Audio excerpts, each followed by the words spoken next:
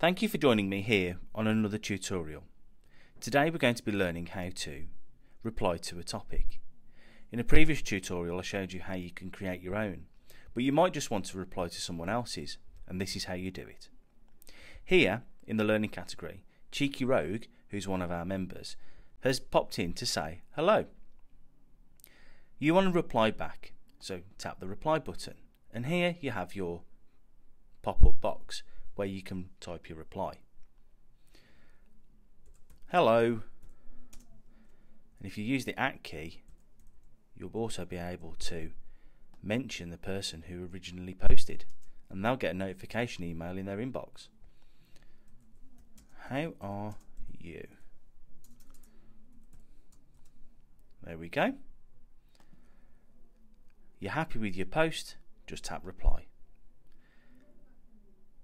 And now, there is your reply beneath, and you've now joined the conversation.